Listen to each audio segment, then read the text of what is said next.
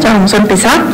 Eh, les damos la bienvenida de parte del doctor Wilson Fernando Melo, jefe de la Oficina Asesora de Planeación, y les damos eh, también la bienvenida a nuestro seminario número 39 de Diálogos en Salud, y el tema del día de hoy es Planeación Territorial en Salud, reflexiones desde el modelo conceptual a la implementación en el territorio. El seminario del día de hoy tiene dos propósitos.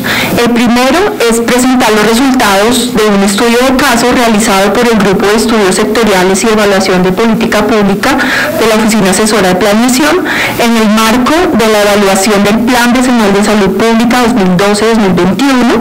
Eh, dicho estudio se denomina Cambios en la Planeación Territorial en Salud, estudio de caso en cuatro ETS. Este tuvo como propósito la identificación de los ajustes y adaptaciones que debieron adoptar las entidades territoriales a partir de los nuevos lineamientos suministrados por el nivel central en materia de planeación en salud. De otra parte, a partir de los hallazgos de este estudio y considerando el contexto actual en materia de planeación relacionada con el nuevo Plan Nacional de Desarrollo, la etapa final de la implementación del Plan Nacional de Salud Pública 2012-2021 y el inicio pues, de una etapa de acompañamiento a la formulación de los planes de desarrollo territoriales en salud, pues la OAPES ha considerado interesante aprovechar este espacio para retomar la visión de los territorios frente a los procesos de planeación, su articulación y alineación con el nivel central, revisar el marco normativo de la planeación territorial y el abordaje de los territorios desde el sector salud y finalmente reflexionar sobre los mecanismos e iniciativas que pueden fortalecerse desde el Ministerio de Salud y Protección Social a través de sus diferentes dependencias e intervenciones, para que contribuyan con la orientación y apoyo a los territorios en el logro de objetivos en común y el beneficio de la población. Eh, finalmente le queremos dar la bienvenida a nuestros expositores, son los doctores David Gómez y Oscar Sánchez. Ellos hacen parte del grupo de estudios y evaluaciones de la Oficina Asesora de Planeación y un agradecimiento muy especial al señor viceministro de Salud Pública y Prestaciones de Servicios, el doctor Iván Darío González, quien pues inicialmente nos iba a acompañar el día de hoy, pero pues por motivos de agenda nos acompañará la doctora Sandra Girón. Entonces les damos la bienvenida. Muchísimas gracias.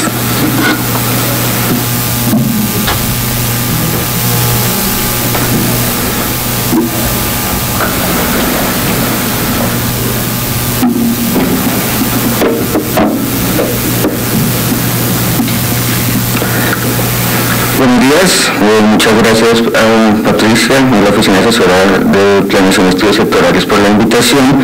El día de hoy les voy a eh, socializar, a presentar un trabajo que hicimos en la oficina alrededor de los cambios en la planeación territorial, una vez expedido el Plan Nacional de Salud Pública y las resoluciones 1536 y 518 de 2015. este trabajo pues, lo hicimos en la oficina, el director fue Jairo Núñez. Eh, el contenido del día de hoy que les queremos presentar es primero una, primera parte de antecedentes en donde queremos pues eh, contarles cómo se hacía la planeación antes del Plan Nacional de Salud Pública, cómo era, digamos, en el marco del Plan Nacional de Salud Pública. Después una justificación para mostrar la importancia de los instrumentos de planeación territorial en el logro de los objetivos de bienestar que se plantea, digamos, en los instrumentos de planeación. Por último, la metodología del estudio de caso, los resultados y las conclusiones. digamos que el antecedente lo primero que quisimos hacer fue hacer como un recuento normativo, una línea de tiempo normativo de los principales hitos en los que se enmarca eh, la planeación en salud en Colombia. Empezamos con la ley 1122, que fue digamos, muy importante porque fue la primera vez que el país se embarcó en tener un instrumento de planeación en salud de mediano plazo. Entonces digamos que ese fue como el gran aporte del Plan Nacional de Salud Pública. Eh, digamos, eh, la, ley 1122 hace una cosa importante y es que redefine el concepto de salud pública, lo ver más adelante, pero la idea que trae la ley 1122 es hablar de salud pública en un sentido amplio, no solamente pensando en ese componente de acciones eh, colectivas, sino también pensando en la articulación que tiene que haber entre las acciones individuales que se hacen en el aseguramiento y las colectivas a cargo de la entidad territorial por norma constitucional. Esta, este Plan Nacional de Salud Pública se implementa en los territorios con la resolución 425 2008, que es una resolución muy importante. Ahí se habla de la construcción de los planes de salud territoriales. su articulación con el Plan Nacional de Desarrollo y el Plan de Salud Pública de Intervenciones Colectivas, que es la forma en la que se materializan las acciones eh, de salud en los territorios. Eh, la Ley 1438 en 2011 reforma el Sistema General de Seguridad Social en Salud y modifica eh, esta idea de planeación de mediano plazo en salud a cuatro años por un plan de largo plazo, me podría llamar, que es el Plan Nacional de Salud Pública, que es un plan que se piensa a 10 años. Este plan pues está, eh, digamos, permeado o está en la filosofía de la Conferencia Mundial sobre Determinantes Sociales de la Salud de Río de Janeiro, que hace un énfasis pues, en el modelo de los determinantes sociales y en la necesidad de la articulación intersectorial para la afectación positiva de dichos determinantes. En 2012-2013 se hace la formulación del Plan Nacional de Salud Pública, finalmente sale la resolución 1841 en 2013, eh, mediante la cual se adopta el Plan Nacional de Salud Pública, fueron dos años de discusión, desde la ley, desde la ley 1438-2011 hasta el 2013. Y en 2015 salen las dos resoluciones mediante las cuales se implementa ese Plan de Salud Pública, que son la resolución 518 y la 1536. La 518 nos habla de todo el tema del plan, de intervenciones colectivas, la forma en la que las entidades territoriales deben contratar esos, ese plan de intervenciones colectivas, principalmente con la República, y la 1536 es la, es la norma de planeación integral en salud. Eh, finalmente, en 2016-2017, eh, las entidades territoriales formulan por primera vez eh, sus planes territoriales de salud bajo la metodología Paz a la Equidad, que es la que trae la resolución 1536.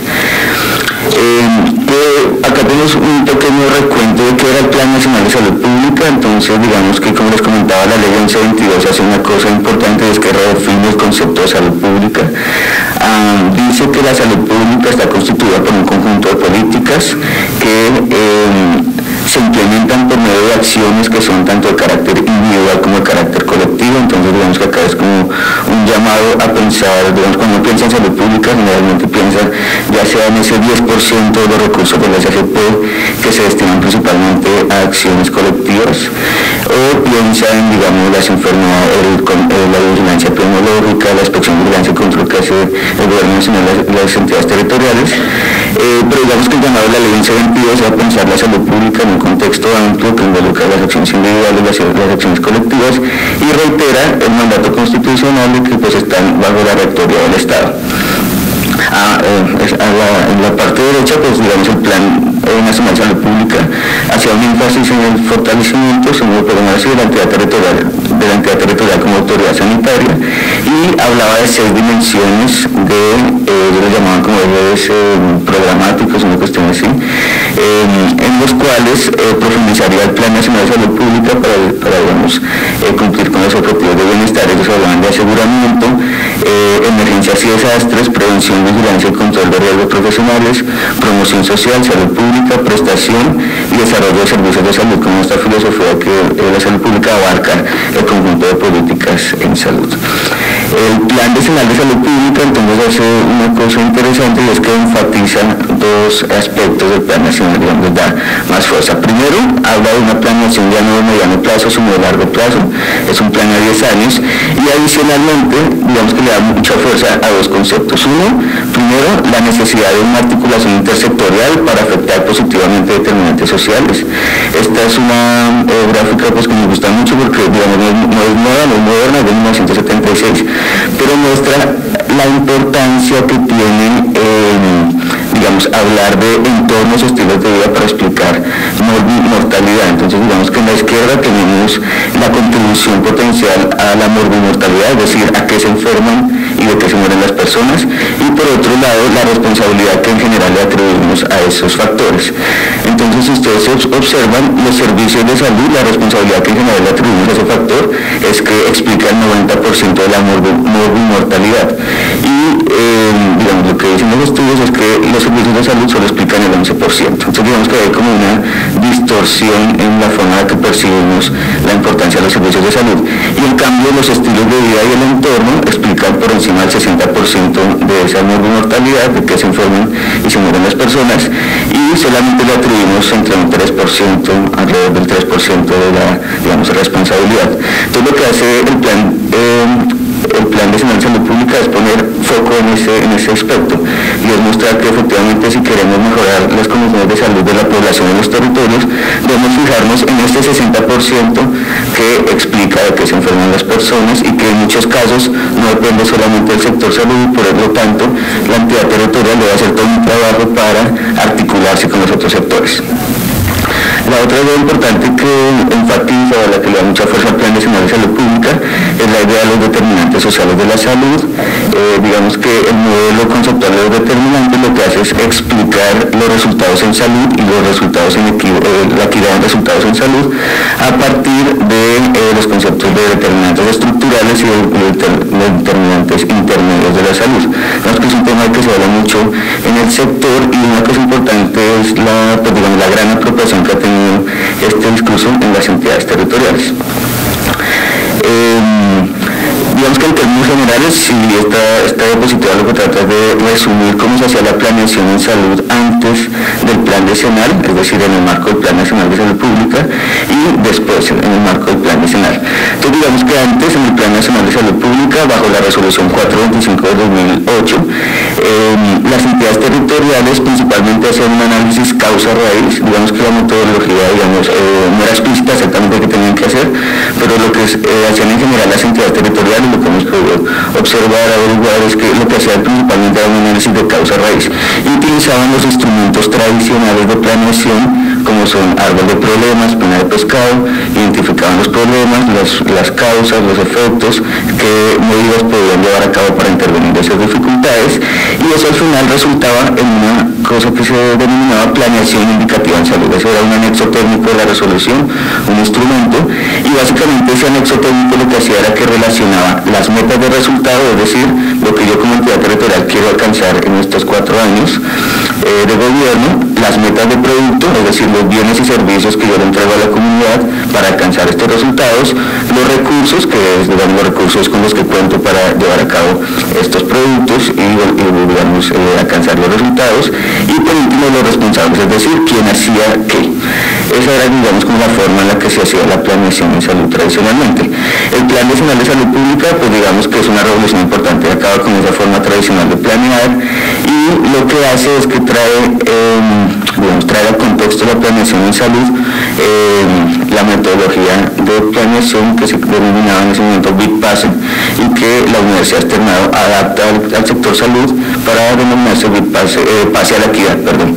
Esta metodología es un cambio importante, es una revolución en el sector porque aquí ya no dejamos, aquí ya dejamos de hablar, por ejemplo, de problemas en el sector salud, en las entidades territoriales no hablamos de problemas, sino hablamos de tensiones. Esta metodología está basada en las teorías de conflicto, que el conflicto no necesariamente como algo malo, no necesariamente un problema, sino que el conflicto también es una oportunidad de hacer cambios positivos en la sociedad. Entonces digamos que esta metodología ya no habla de problemas, habla de tensiones, lo que hace, digamos, el gran aporte de la metodología es incluir las dinámicas poblacionales, las dinámicas demográficas en la planeación. Y en ese sentido analiza la interacción de cuatro factores, que son el factor poblacional, ambiental, social y económico. A partir de esa idea de incluir la dinámica demográfica en la planeación y ver la interrelación de estos cuatro factores es que se plantea toda la estrategia hacia la equidad. Pero entonces, como ustedes ven, este es un plan importante, claro que eh, bueno, será interesante ver cómo las entidades territoriales se habían adaptado.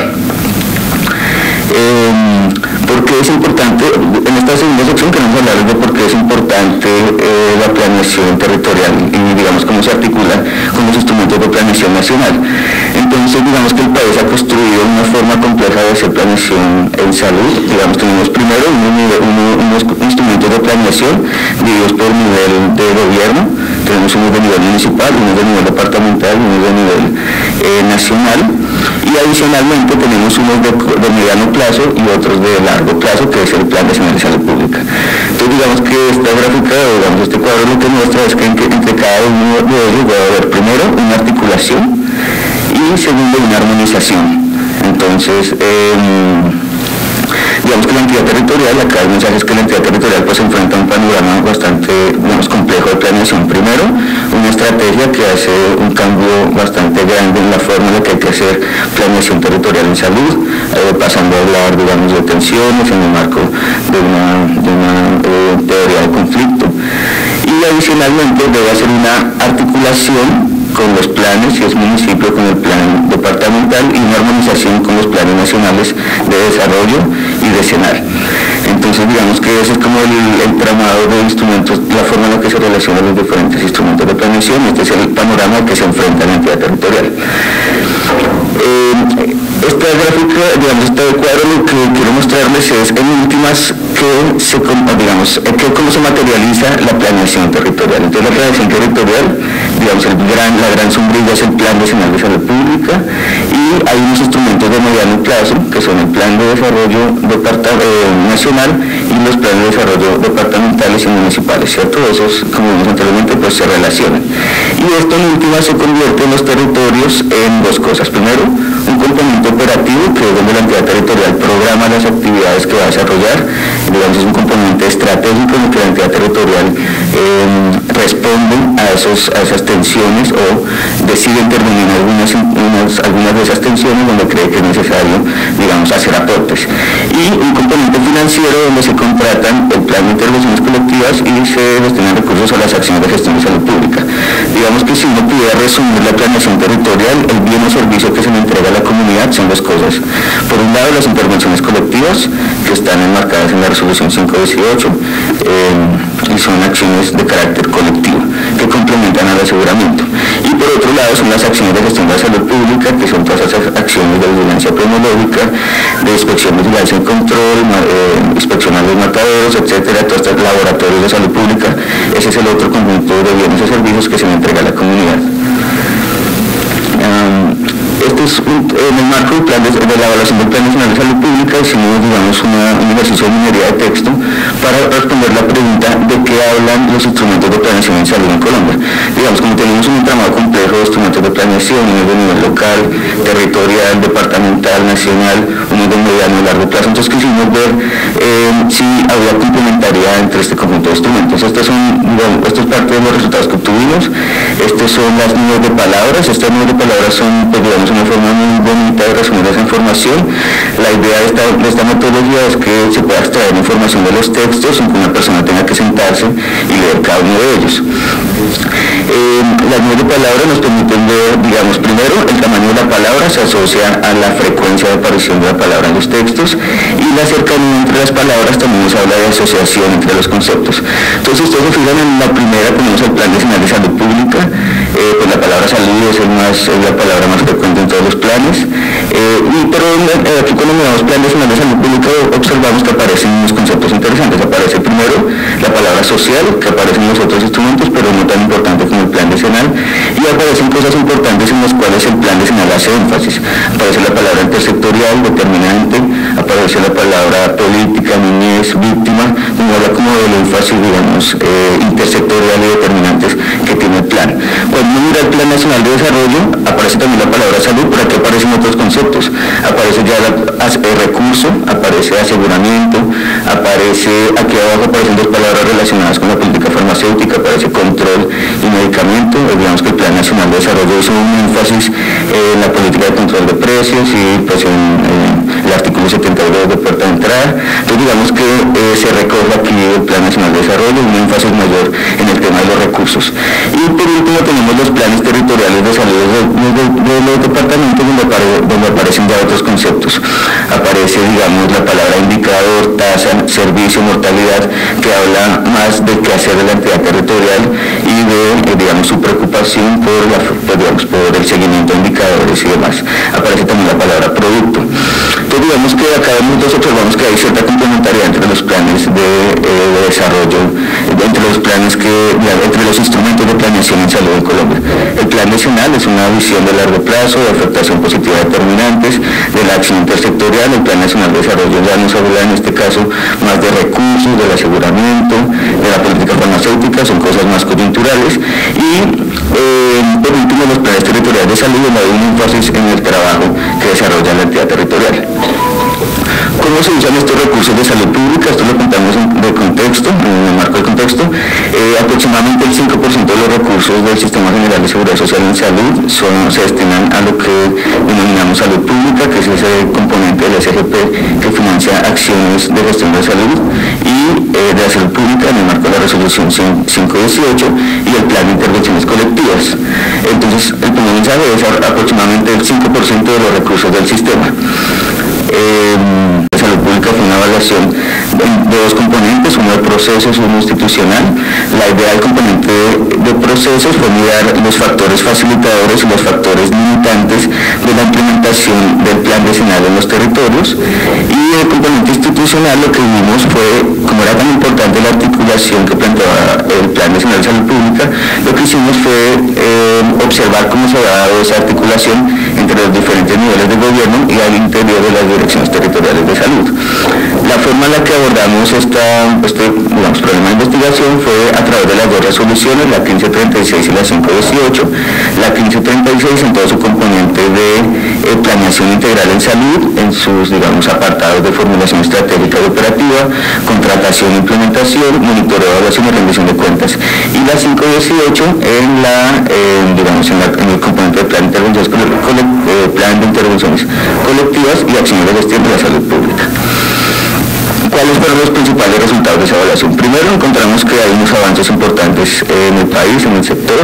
Primero se construyó un modelo de planeación en salud que incorpora, que incorpora un análisis amplio de las realidades territoriales. Esta metodología digamos que es un avance para el sector para mirar digamos de manera eh, holística los problemas en salud. Segundo, hay una apropiación importante del discurso que plantea el Plan Nacional de Salud Pública en los territorios, esa es una gran, una gran ganancia del plan. Tercero, eh, encontramos que en todas partes hay, avances en acciones concretas para la afectación positiva de los determinantes sociales. Si, bien en todas partes, digamos, encontramos que hay un deseo de hacer más cosas, que hay falencias y demás, encontramos que en todas partes hay un avance hacia moverse hacia ese camino. Y tercero, eh, antes no teníamos información, eh, digamos, de estas actividades, hoy tenemos un sistema de información que es cada vez más usado, que tiene información que es cada vez más robusta sobre el conjunto de intervenciones que hacen las entidades territoriales. Entonces eso es otro también avance de, eh, digamos, el Plan Nacional de Salud Pública.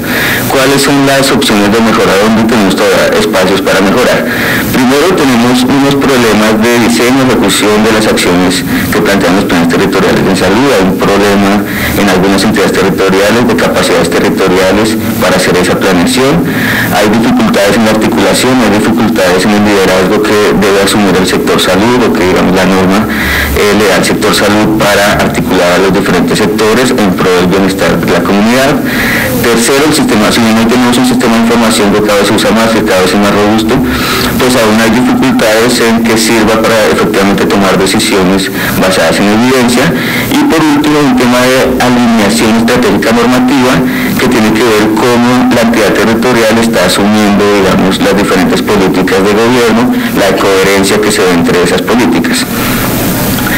Em, tras la evaluación del Plan Nacional de Salud Pública, entonces surgió la necesidad de profundizar, esto quedó en el Plan de Transferencia, Implementación y Recomendaciones, la necesidad de profundizar en dos aspectos. Primero, eh, la resolución 425, la resolución 518, algunos cambios importantes respecto a la forma en la que se debe contratar el plan de intervenciones colectivas.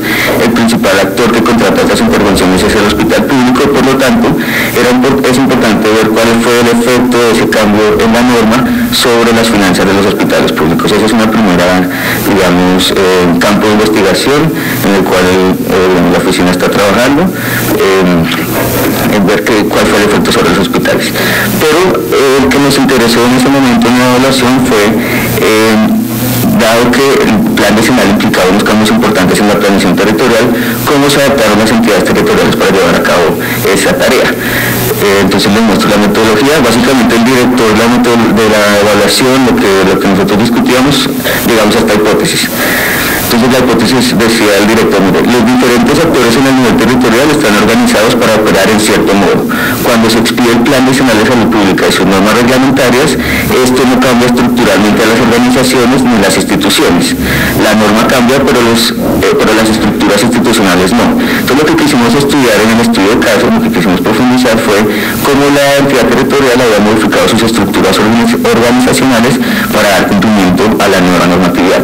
¿Qué ¿Qué hace el estudio de caso? El estudio de caso es una observación en profundidad de, los actores que participan en el fenómeno de estudio. Eh, acá digamos la definición dice técnica de carácter empírico que busca investigar un fenómeno contemporáneo en su contexto real. El método, básicamente hicimos entrevistas en cuatro direcciones territoriales de salud y utilizamos la teoría fundamentada en los datos, para eh, entender el fenómeno.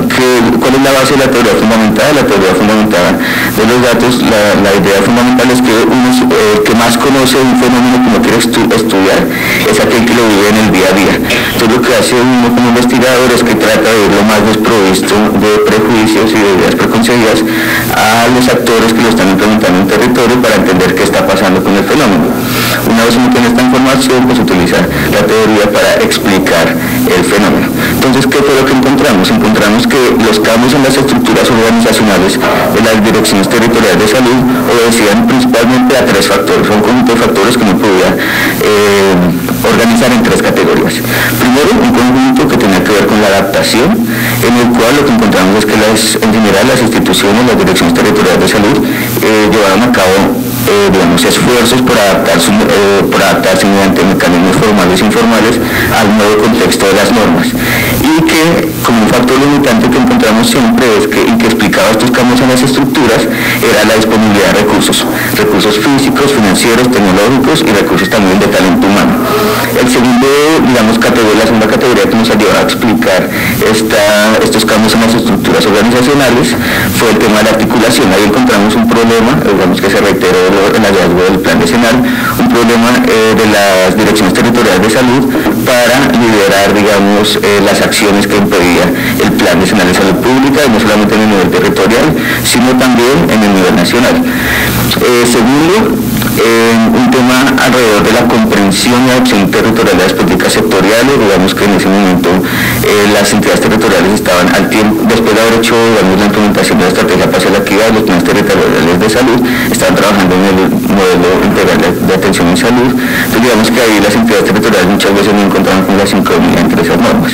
Y por, último, tercero, en la categoría de comunicación, digamos que nos ayuda a explicar estos cambios estructurales, encontramos eh, las dificultades de diálogo respecto a las necesidades territoriales. Entonces, así como la principal queja del nivel nacional es que las entidades territoriales muchas veces no cuentan con las capacidades institucionales para llevar a cabo los procesos de planeación, la queja, la contraparte de esto, la queja en las entidades territoriales es que el gobierno nacional o el Ministerio de Salud, digamos que tiene dificultades para comprender las realidades territoriales. Entonces digamos que son como las dos caras de la misma moneda.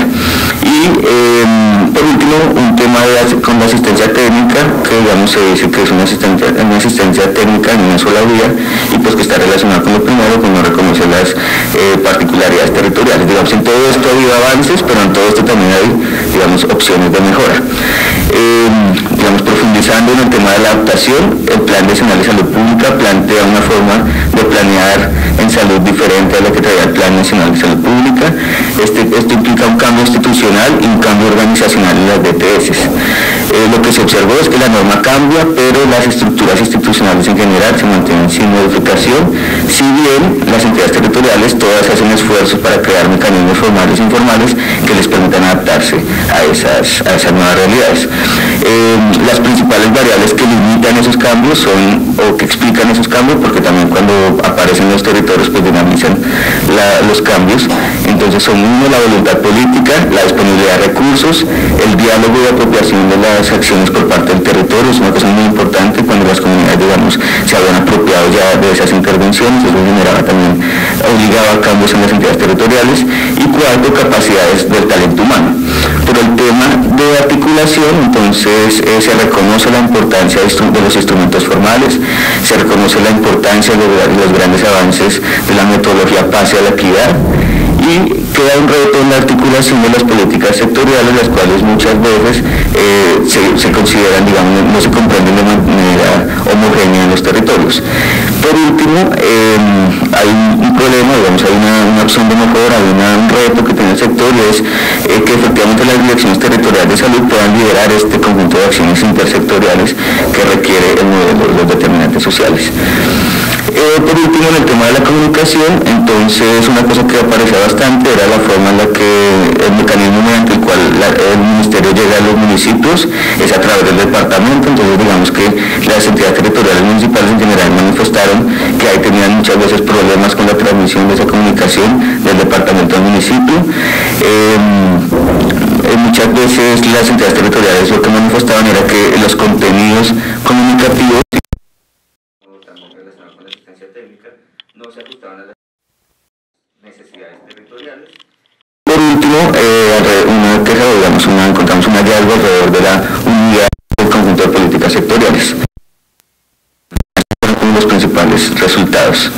Las conclusiones entonces, eh, las entidades territoriales hicieron primero un gran esfuerzo por adaptarse al nuevo contexto normativo, eh, interiorizaron la nueva forma de planear en salud, efectivamente hicieron un esfuerzo para adaptarse a la metodología pase a la equidad, incluir un enfoque de determinantes y de articulación intersectorial en los planes de desarrollo territoriales. Eh, se generaron muchos cambios en las prácticas cotidianas, todas las entidades territoriales, digamos, manifestaban o evidenciaban la creación de comités, digamos, muchas veces informales de articulación, eh, la voluntad política que era un factor, digamos, determinante. Tercero, las principales rigideces, los factores que muchas veces impedían esos cambios eran la disponibilidad de talento humano, la disponibilidad de recursos. Eh, y por último, Em, se resalta la importancia de los procesos de comunicación y de asistencia técnica para la comprensión, digamos, homogénea de eh, las políticas sectoriales uh, encabezadas por el Ministerio. Gracias.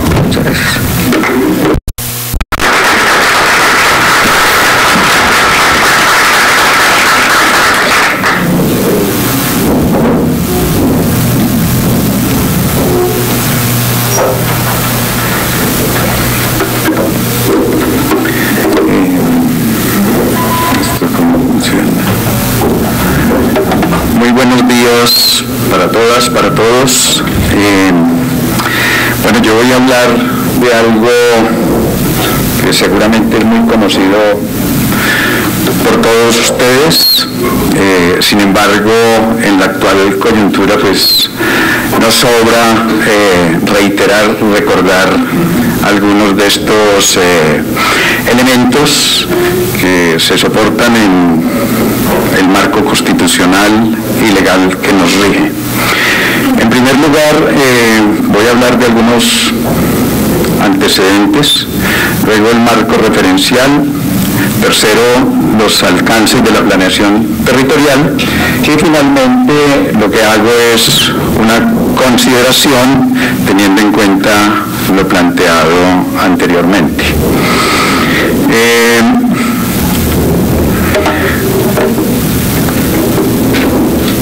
un antecedente fundamental de la coyuntura actual es que en el país hay una elección popular de alcaldes y gobernadores.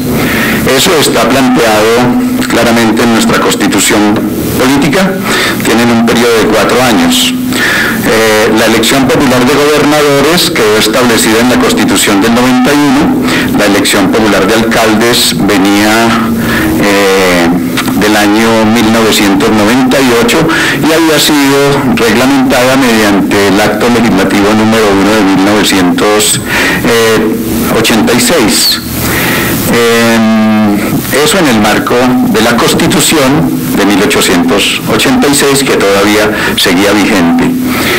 Eh, al ser elegidos eh, los alcaldes y gobernadores, pues ellos tienen unas atribuciones en ese nuevo marco constitucional y tanto alcaldes y gobernadores pues tienen la obligación de presentar eh, oportunamente, bien sea a las asambleas departamentales, bien sea a los consejos municipales, eh, los proyectos para que finalmente se termine expidiendo una ordenanza o un acuerdo donde eh, quedan plasmados los lineamientos eh, que son el plan eh, de desarrollo departamental, el plan de desarrollo municipal.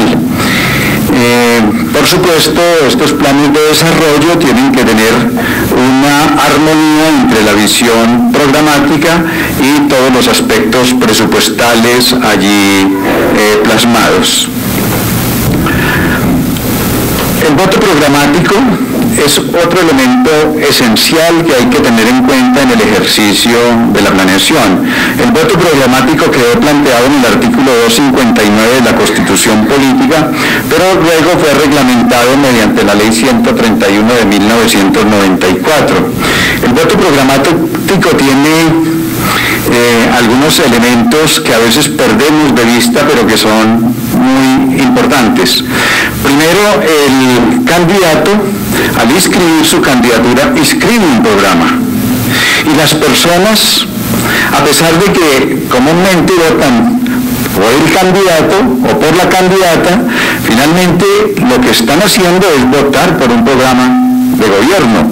Es más, ese programa eh, de gobierno genera eh, una obligatoriedad, una obligatoriedad. Hay, hay un mandato de la ciudadanía en relación con ese programa de gobierno. Es más, ese programa de gobierno, veremos más adelante, juega un papel importante en el ejercicio de la planeación. Em, todos lo sabemos, eh, pues eh, pasado 27 de octubre se eligieron eh, nuevos mandatarios para los departamentos y para los municipios. El mandato de ellos inicia el primero de diciembre del 2000, perdón, el primero de enero del 2020 y va hasta el 31 de diciembre del 2023. Pero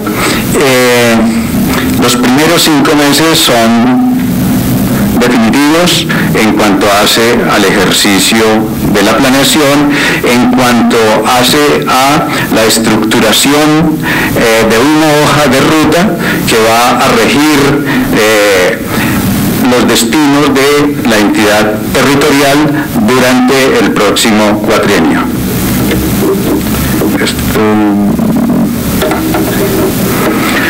Bueno, eh, respecto del marco normativo de la planeación territorial, ¿qué tenemos?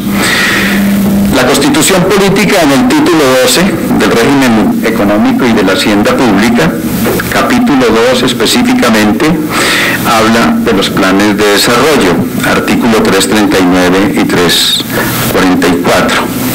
Desde antes de la Constitución del 91 efectivamente se venían haciendo planes de desarrollo. Eh, no había un mandato específico respecto de la hechura de esos planes de desarrollo. Sin embargo, eh, desde el gobierno de Carlos Lleras Restrepo, efectivamente se empieza a marcar como una línea y es la de realizar planes de desarrollo eh, cuatrinales. Sin embargo, la constitución política eh, hace una reglamentación y esa reglamentación no solamente la hace para el nivel nacional, sino para los niveles territoriales, departamentales y municipales. Inclusive, inclusive eh, incluye la posibilidad de hacer planes de desarrollo en los resguardos indígenas, en esa constitución se previó podrían hacer parte de las nuevas entidades territoriales. Recordemos que se había hablado allí de que habrían departamentos, habrían eh, regiones, habrían eh, municipios y habrían EPIs, entidades territoriales indígenas. Hoy en día los indígenas no hablan de plan de desarrollo, sino hablan de plan de vida. El artículo 339 mm, señaló eh, puntualmente que habrá un plan nacional de desarrollo conformado por una parte general y un plan de inversiones. Igualmente eh, planteó que las entidades territoriales elaborarán, adoptarán planes de desarrollo que también tendrán esa parte general y ese plan de inversión. Y eso se supone dirigido a eh, asegurar un uso eficiente de los recursos, un uso armónico en relación con esa visión eh, de planeación que se tiene y también para enmarcar las funciones de, los diferentes organismos de la administración. Em, se habla de también tener en ese plan de desarrollo una visión de inversión de corto plazo y también de largo plazo. Eh, el plan de desarrollo eh, en términos de financiamiento, eh, pues no puede desconocer el marco fiscal. Recordemos que la nación cada año marco fiscal de mediano plazo que aprueba el Congreso. En igual sentido lo deben hacer las asambleas departamentales y los consejos eh, municipales. Entonces, el plan de desarrollo tiene que estructurarse teniendo en cuenta ese marco fiscal de mediano plazo. el artículo 342 señaló que habría una ley orgánica de planeación que reglamentaría todo lo concerniente a los planes, al Plan Nacional de Desarrollo y lo concerniente a los planes eh, territoriales. Fue así como se expidió la ley 152 orgánica del Plan de Desarrollo. Esta ley eh, es una ley orgánica, decíamos, o sea, tiene un rango eh, bastante importante dentro del ordenamiento jurídico nacional. Y allí, en el capítulo 10, eh, claramente se plantearon los procedimientos para los planes de desarrollo territorial entre los artículos 36 eh, y 46. El artículo 39 eh, eh, habla de la elaboración de los planes de desarrollo. Esa elaboración prácticamente inicia el primer día de, de gestión del respectivo mandatario. Empieza el primer día porque inmediatamente el mandatario tiene que darle instrucciones a su equipo de gobierno y tiene que decirles, aquí está eh, el plan que yo escribí, el programa que yo escribí, y ese programa tiene que quedar incluido, armonizado en ese plan de desarrollo de la entidad territorial. Y cada uno de los de los eh, de las instancias de la administración entran a colaborar con la elaboración de ese plan durante los dos primeros meses para luego ser presentado al Consejo Territorial de Planeación. Recordemos, hay un Consejo Nacional de Planeación, pero los departamentos y municipios deben tener consejos territoriales de planeación. Y allí es presentado ese proyecto de plan de desarrollo, allí se discute y se hacen recomendaciones y se verifica que el programa de gobierno haya, sido tenido en cuenta en la formulación de ese proyecto de plan de desarrollo. Una vez él lo regresa, eh, el Consejo Territorial, el gobernador, el alcalde hacen los ajustes correspondientes y lo envían a la Asamblea y al Consejo, máximo en el cuarto mes. Y ahí viene el tema de la aprobación, en el cuarto mes. Y en ese último mes la Asamblea o Consejo lo discute, hace las recomendaciones, consideraciones del caso, la Administración eh, determina qué acepta, qué no acepta, eh, viene todo eh, el escenario, digamos, de negociación entre el Ejecutivo y el Legislativo Regional y viene la aprobación. De no ser aprobado, por supuesto, el gobernador y el alcalde tienen facultades de expedirlo eh, por decreto. El artículo 41 eh, específicamente dice que eh, una vez aprobado, cada secretaría hará un plan de acción. Hoy es lo que llamamos los planes sectoriales. La ley 152 nunca mencionó plan sectorial, habló eh, de planes eh, de acción. Pero en el caso particular de los sectores de salud y de educación, eh, el mandato es expreso, de que hay que hacer unos planes.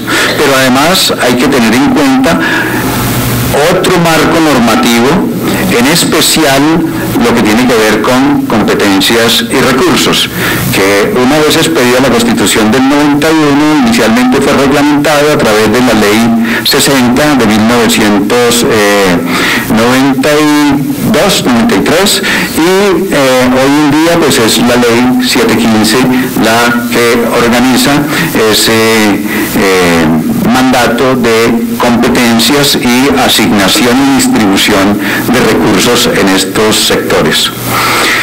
El artículo, el artículo 42 de la ley 152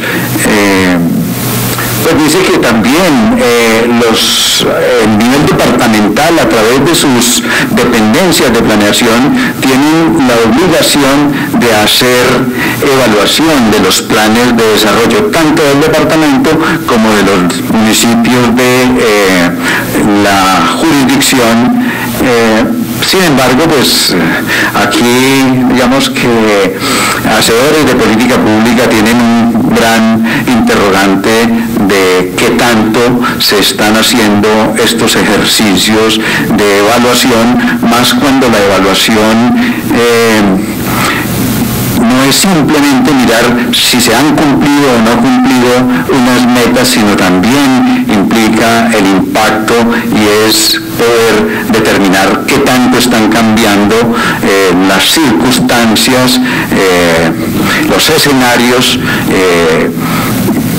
problemáticos o por reforzar de la entidad territorial y qué tanto los resultados de esa evaluación pueden contribuir a las nuevas reformulaciones de planeación en las respectivas entidades territoriales. Pues sabemos que la planeación eh, en síntesis lo que busca es generar, buscar, encontrar escenarios deseados. ya ya en cuanto, en cuanto hacia la planeación, a los alcances de la planeación territorial en salud, entonces nos encontramos con el siguiente escenario eh, de planeación y de normatividad asociada. Por un lado, eh, ya lo mencionamos, hay un plan de desarrollo territorial, eh, la normatividad que lo sustenta ya lo mencionamos, el tiempo para la realización son los primeros cinco meses del respectivo mandato y tiene una vigencia de cuatro años. Como ya dijimos, es la ruta, es el marco de acción y de inversión eh, del respectivo gobierno. En el caso específico de salud, pues debe haber, por supuesto, una armonía, una armonía con ese plan de desarrollo territorial. Plan de desarrollo territorial que también debe tener una armonía con, con Plan Nacional de Desarrollo en vista de que uno de los principios de la Ley 152 es el de coordinación. Y la coordinación eh, en este caso se entiende como el ejercicio de armonización y de eh, coherencia entre estos planes. Entonces, eh, ahí está previsto la realización de un plan territorial de salud. Ya decíamos que eh, eran los planes de acción que inicialmente eh, mencionó la ley 152. El plan territorial de salud, pues por supuesto, como lo dice la 152, debe tener en cuenta eh, la ley de distribución de competencias y recursos, en este caso la 715, pero debemos tener en cuenta que posteriormente en salud se expidió la ley 1438 del 2011, que modificó el sistema, hizo modificaciones al sistema general de seguridad social en salud. Y en su artículo sexto estableció que habría un plan decenal de salud pública que es otro gran eh, elemento, instrumento de referencia eh, que marca el deber ser en las entidades, eh, en la nación y en las entidades territoriales. ese plan decenal de salud pública fue adoptado por la resolución 1845 y asociado mm, y con posterioridad se expidió la, la resolución 1536 de 2015 sobre la planeación integral en salud. Allí hay unas directrices que tienen que ver con eh, la armonización con ese plan decenal de salud, con las diferentes etapas del ciclo de la planeación, e igualmente se eh, menciona que hay una metodología asociada. La vigencia eh, de los planes territoriales de salud eh, es de cuatro años. Eh, ya hablamos, pues, a qué le apunta en términos de alcance ese proceso de planeación integral en salud y establece no solamente obligaciones para las entidades territoriales, sino también obligaciones para otros actores del sistema de salud, como son las EPS, e las EAPD, las ARL. Y em, por supuesto, em, ya decíamos, eh, vigencia cuatro años. También allí se establecen los eh, lineamientos de evaluación asociados. Aparece también otro referente que es el modelo de atención integral territorial, MAITE, y que fue eh, reglamentado a través de la resolución 2626 del año em, presente. Se plantea que la formulación de este eh, plan, modelo de acción integral, será de seis meses, tiene un mes más eh, que el plan territorial de salud para su formulación y adopción. Está así planteado en el artículo noveno de la resolución 2626. La vigencia igualmente es de cuatro años, plantea ese mismo artículo noveno, y em,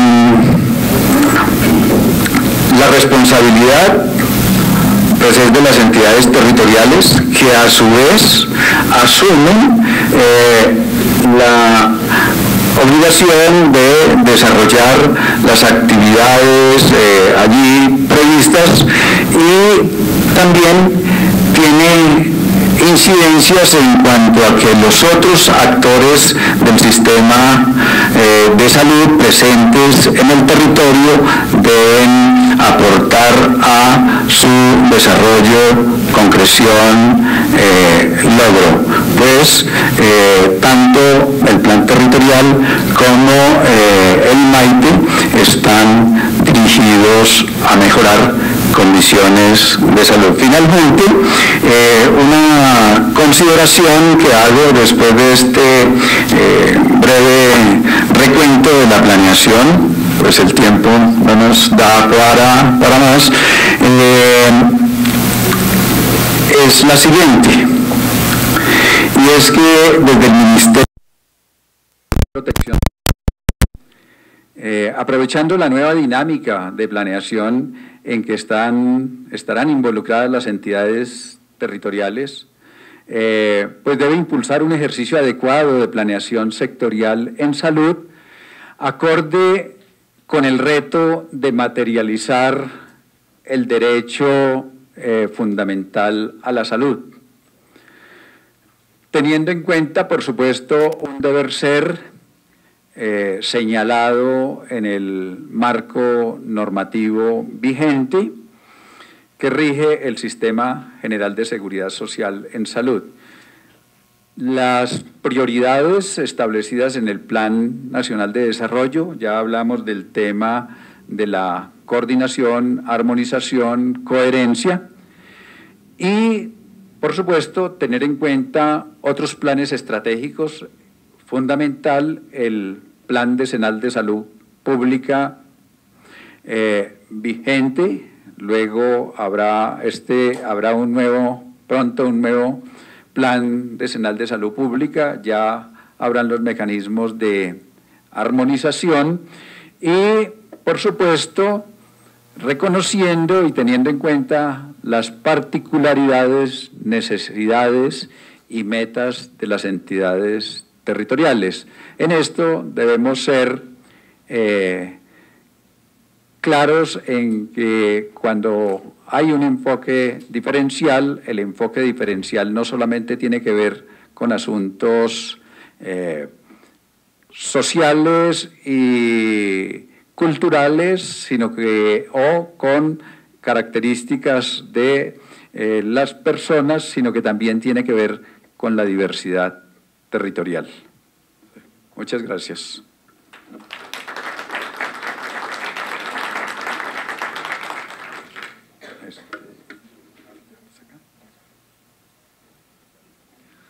Bueno, agradecemos a los doctores David Gómez y, y, Oscar Sánchez por su presentación relacionada con la planeación territorial en salud y este completo análisis de la normativa en torno a la planeación territorial. A continuación, le damos paso a la doctora Sandra Girón, directora de Epidemiología y Demografía. Ella nos va a hablar en nombre del señor viceministro Iván Darío González acerca de la importancia de Maite en la articulación entre los actores del sistema de salud y las entidades territoriales y su armonización con el marco normativo de la planeación territorial. Bienvenida, doctora.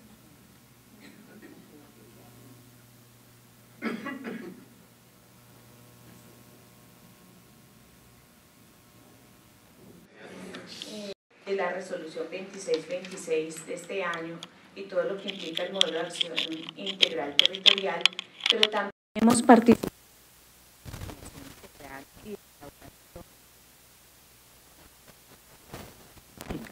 En este momento estamos en un momento supremamente importante porque estamos finalizando, como lo mencionaba Oscar, estamos casi en la etapa de finalización del nuevo plan decenal y la formulación del nuevo.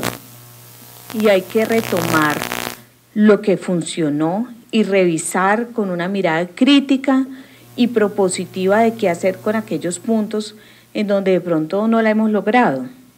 Uno de los puntos que definitivamente se logró con este plan decenal fue la apropiación del enfoque de determinantes.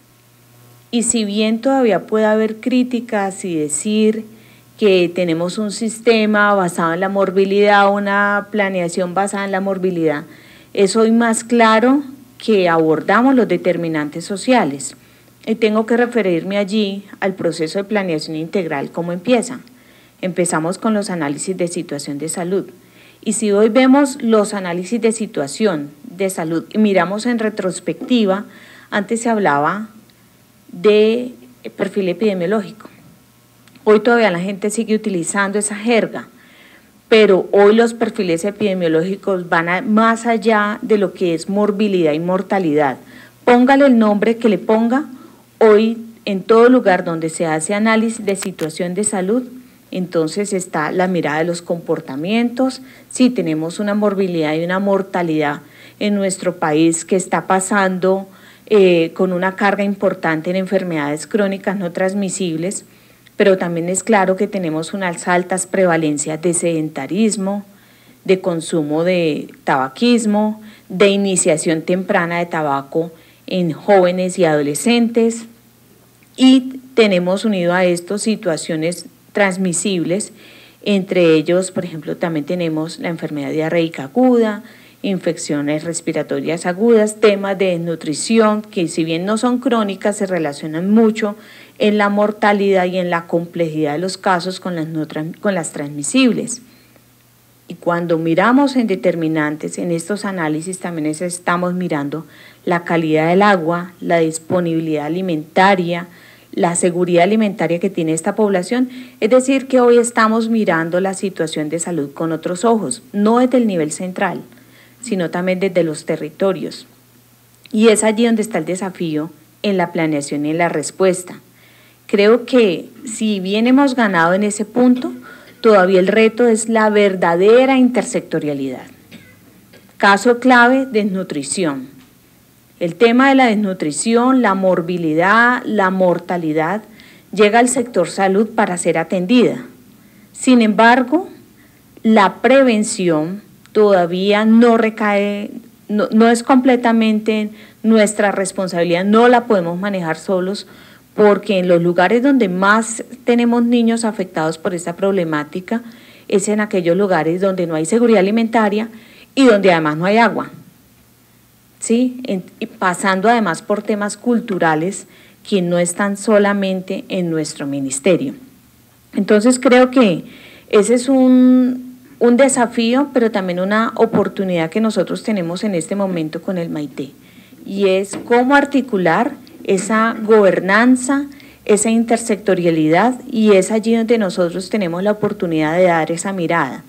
¿Cómo es la propuesta de hacerle que todavía estamos en discusión con el viceministro sobre estos temas? Estamos planeando un nuevo, valga la redundancia, un nuevo plan decenal de salud pública, pero estamos mirando en dónde estamos en las dimensiones. Hemos avanzado, pero tenemos desafíos. ¿Cambiamos ya los determinantes sociales? No. ¿Los hemos modificado de decir ya, ya quedaron dominados? No, entonces tenemos que retomar esos problemas de salud pública que puede que sean los mismos, pero además están cambiando. Caso clave, no transmisibles. Hoy no solamente tenemos un tabaquismo, sino que también tenemos consumo de otros, de otros dispositivos como los vapeadores, eh, que nos plantean nuevos retos en la salud pública.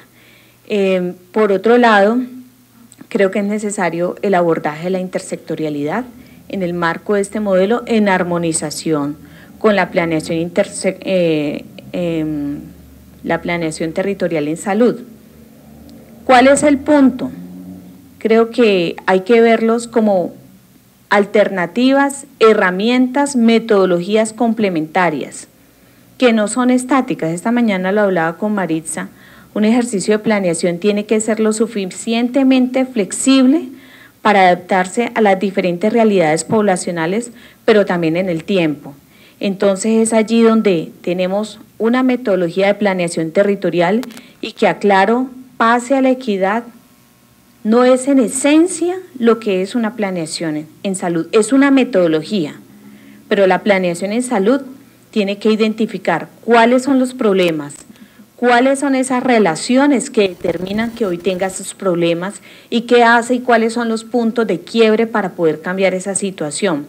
Cómo aglutino los diferentes recursos y en recursos están los actores, está el plan de acción, está el dinero, las inversiones y muy importante la, la articulación interinstitucional, donde estamos nosotros, y allí nos tenemos que articular desde adentro para poder ir a dar unas asistencias técnicas, una orientación coordinada y no que cada uno actuemos solos. Y en eso el llamado es para todos. ¿Cómo nos articulamos desde acá antes de ir a hablar sobre los nuevos planes territoriales? Por eso estamos haciendo una avanzada primero a nivel de directivos entender y llegar a acuerdos sobre cómo vamos a trabajar el nuevo plan territorial de salud, luego cómo nos vamos a ir a, la, iniciar ese proceso participativo y de formulación y cómo queremos entregar ese lanzamiento en el 2021, ojalá a mediados de año. Esos son los puntos claves. Creo que tenemos avances y desafíos que hay que armonizar y potencializar para poder llegar a resultados en salud en las poblaciones. Muchísimas gracias.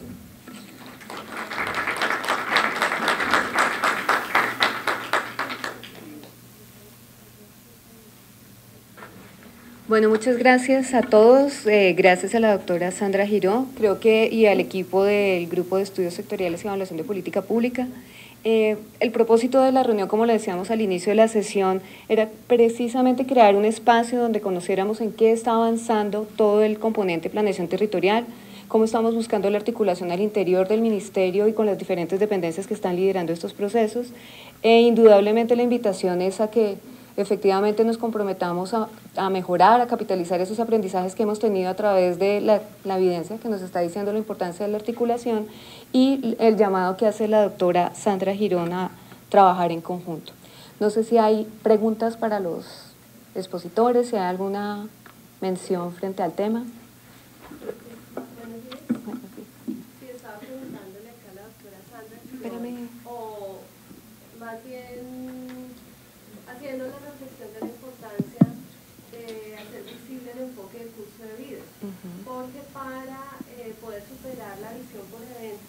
Para poder superar la visión por evento y no volver a caer en que las prioridades son los eventos, el tabaquismo, etcétera, etcétera. Eh, la idea desde salud pública está en pararnos en la población. Primer, la puerta de entrada son los sujetos. ¿Qué está pasando con los niños, niñas? ¿Qué está pasando con los adolescentes? Una visión de integralidad, es decir, no aterrizar en que las prioridades del adolescente son solamente prevención del embarazo y consumo de sustancias psicoactivas, sino que pasa con una visión de salud integral y el reconocimiento de esos sujetos en su integralidad a la vez. ¿Qué pasa con los adultos? ¿Qué pasa con los adultos mayores? ¿Qué pasa con la familia? ¿Y qué pasa con la comunidad? Estamos diciendo que los pilares son el enfoque de salud familiar y comunitario. Entonces, ¿cómo traducimos ese enfoque? Que está más parado que en los comportamientos, para algunos en las reflexiones que hemos hecho, está parado en cómo las relaciones eh, de esa situación del individuo en su familia, en su comunidad, generan ciertas condiciones de salud. Si yo me paro en las relaciones y no solamente el individuo y el comportamiento, puedo hacerme la pregunta sobre la intersectorialidad. Esa era como la, la reflexión que quería compartir, es decir, que así como hacemos visible el enfoque diferencial, no solamente en lo social y lo cultural, sino también las diversidades territoriales, es importante que sigamos trabajando, profundizando en cómo traducir el enfoque de curso de vida y cómo ese puede ser un foco para el nuevo plan decenal en salud. Eso es. Sí, quería hacer énfasis en lo que decía la doctora Sandra Gironi, es que efectivamente la formulación del nuevo plan decenal se construye a cuatro manos y creo que es importante repensarnos y asumir esos nuevos retos que por supuesto son dinámicos y están cambiando y, y es muy vale. gracias. ¿Alguien más?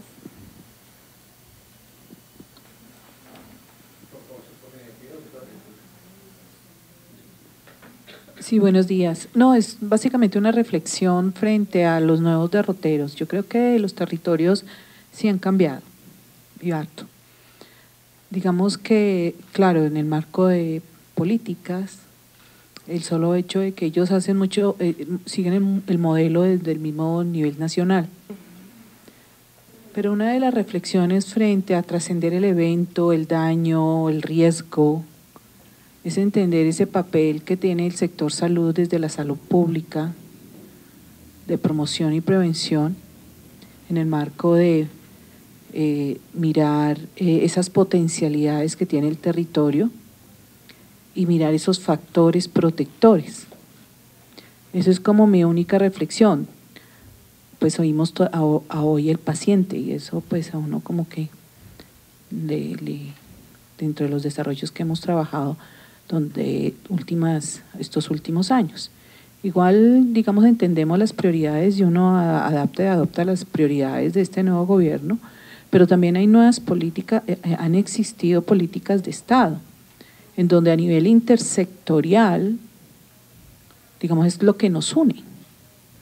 Nosotros trabajamos determinantes, fuertemente, y muchos de los procesos que se trabajan vienen desde la gestión, ¿sí? una gestión que es intelegable y que el tema de la gestión, digamos que ahí es donde nosotros tenemos que buscar ese esfuerzo con los otros actores. Recordemos que la gestión sectorial, extrasectorial e intersectorial debe estar enmarcada en esas competencias de cada actor. Entonces, si no hablamos de determinantes, si no miramos realmente y trascendemos el daño, trascendemos lo programático, el riesgo, pues vamos a seguir hablando de pacientes. Gracias. ¿Alguien más quisiera? Un, un, pequeño recorderis ya para cerrar la sesión y es, en este momento la Oficina Asesora de Planeación está consolidando los KPTs, que son los kits de, de desarrollo territorial, donde hemos contado con el aporte de todas las dependencias. Vamos a tener una versión final esta semana que esperamos socializar. Es el momento de recoger todos los aportes. En esta oportunidad, digamos que es un insumo, un primer insumo para lo que va a ser la formación en territorio. Y no sé si María Isabel, la doctora María Isabel Ospina nos quisiera compartir algo acerca de las capacitaciones que se tienen previstas y la articulación que se tiene para llegar a territorio, para redondear el propósito de la sesión.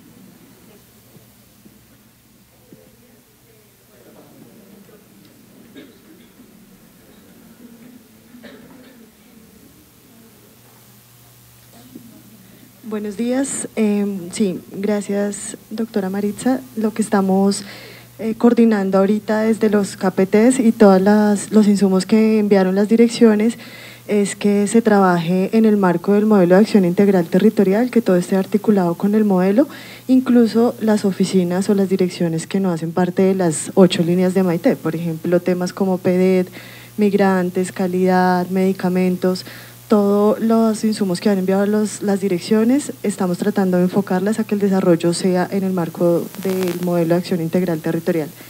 En cuanto a lo que vimos ahora en esta jornada de trabajo, estamos definiendo con el viceministro y todos los directores eh, finalmente cómo debemos articular la planeación que ahora existe con el modelo de acción integral territorial. Una vez tengamos una línea clara, se las haremos conocer a todos. Eh, a todos los del ministerio, incluidos por supuesto los líderes Maite que trabajan con nosotros acá desde, desde el ministerio. Mil gracias. Bueno, para todos, mil gracias de nuevo, un gusto tenerlos. Este fue nuestra última versión del año. Eh, nada, de nuevo, gracias. Hasta luego.